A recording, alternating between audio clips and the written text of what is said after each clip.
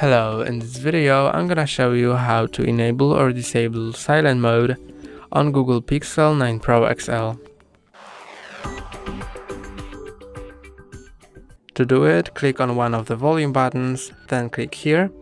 And now silent mode is off, I'm in ring mode. This speaker says I'm in ring mode. This is silent mode. And this is vibrate mode. That's all for today, don't forget to like and subscribe, see you next time.